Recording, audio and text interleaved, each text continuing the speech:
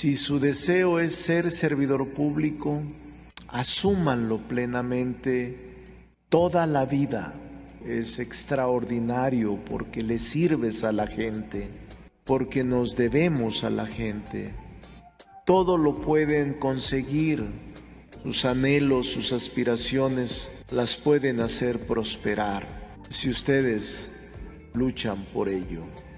Hoy la mitad de estos espacios en este Parlamento es de mujeres, porque entre otras cosas es un acto de justicia. Que ustedes estén aquí es, yo diría, la coronación de la lucha de mujeres de muchos partidos políticos, porque son ustedes sin lugar a dudas, la materialización de lo que empezó con cuotas y hoy conocemos como paridad en todo. Cuando hagan política, cuando hagan políticas públicas, cuando hagan iniciativas, tienen que escuchar todas las voces. Y aquí están representados todos, hombres y mujeres por igual y toda la diversidad de México.